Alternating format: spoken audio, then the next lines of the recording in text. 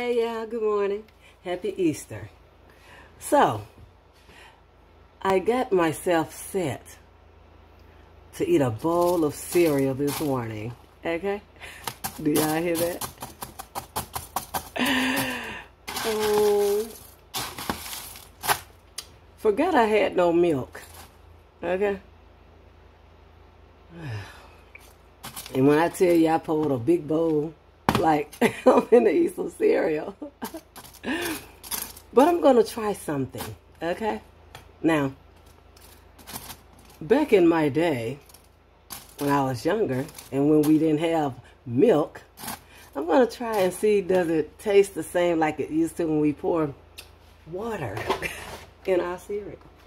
Okay, let's just see. Is it the same? Because I remember, y'all see it's going in there. Okay.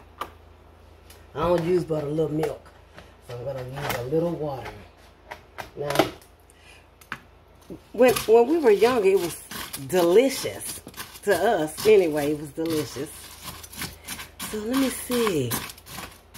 I'm going to take it back to the days where we didn't have anything. So, let's see.